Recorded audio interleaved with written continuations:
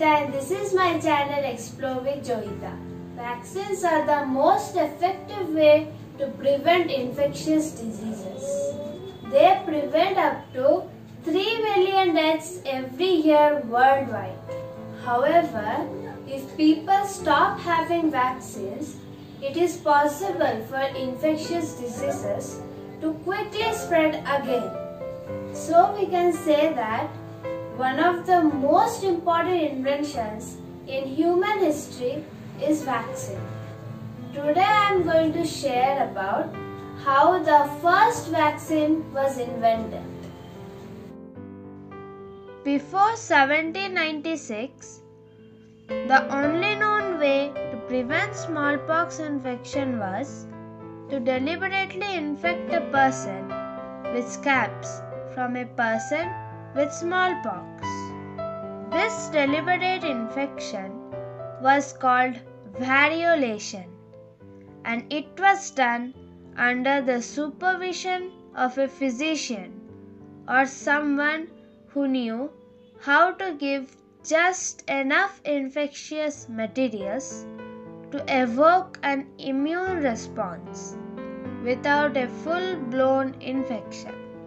The latter was not always the case, but the severity and risk of death from variolation were lower than the risk of acquiring smallpox the natural way.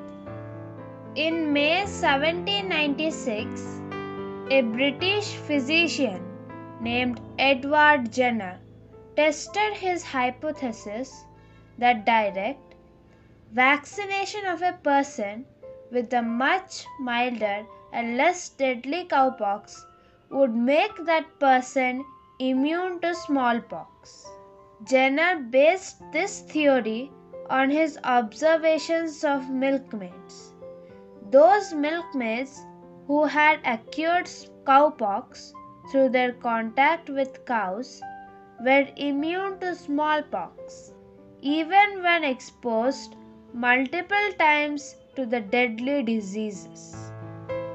Cowpox is an uncommon illness in cattle, usually mild, that can be spread from a cow to a human via sores on the cow's udder. Smallpox, in contrast, was a deadly disease of humans. It killed about 30% of those it infected. Survivors often bore deep pitted scars on their faces and other parts of the body affected by the blistering illness. Smallpox was a leading cause of blindness. Jenner is said to have been interested in the observation of a dairymaid. The dairymaid told him, I shall never have smallpox, for I have had cowpox. I shall never have an ugly pock-marked face. And many other dairy workers commonly believed that infection with cowpox protected them from smallpox. The protective effect of cowpox infection from smallpox was common local knowledge. Then why was Jenner's involvement important? Jenner decided to systematically test the observation, which would then form the basis for a particular application of the benefit of cowpox infection. Jenner scratched some material from a cowpox sore on the hand of a milkmaid into the arm of eight year old James Phipps, the son of Jenner's gardener. Young Phipps felt poorly for several days but made a full recovery. A short time later, Jenner scratched some matter from a fresh human smallpox sore into Phipps's arms to make him ill with smallpox. Phipps, however, did not contract smallpox. Jenner tested his idea on other humans and published a report of his findings. Jenner repeated his experiments several times and got the same result. Other scientists did likewise and got the same result.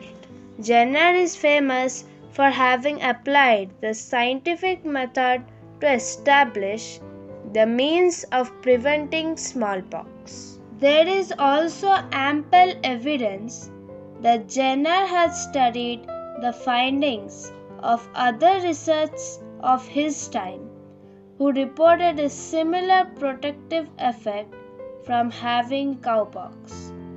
However, it was Edward Jenner's detailed description of his experiments that convinced his colleagues and authorities that inoculation with cowpox, which he called vaccination, was preferable in terms of safety to variolation. Edward Jenner was born in 1749 in England. At the early age of 14, Jenner apprenticed for seven years with surgeon Daniel Ludlow.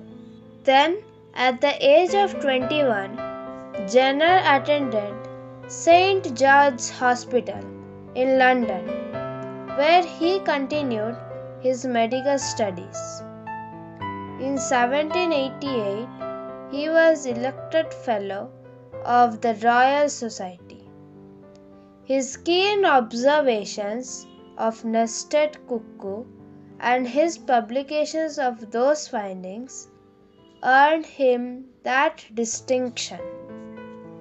It was the same ability to observe and describe events around him that led to the publication of his findings of a series of case studies on people exposed to cowpox and rendered immune to smallpox. Together with his experiment on James Phipps, his observations earned him the recognition of being the first person to develop a successful vaccine against smallpox. By 1803, Jenner's findings were translated to French and Spanish, and the King of Spain launched a vaccination campaign to the Americas and the Far East. Throughout his life, Edward Jenner received many accolades for his contribution to the understanding of infectious diseases. Jenner's method of vaccination against smallpox grew in popularity and eventually spread around the globe. About 150 years after Jenner's death in 1823, smallpox would be making its last gasps. The World Health Organization, WHO, eventually declared smallpox to be eradicated from the planet in 1980 after a massive surveillance and vaccination program. So, friends, I hope I could answer many of your curious questions through this video. If you have enjoyed this video, subscribe my channel to get more fascinating videos like this. Thank you. Bye bye.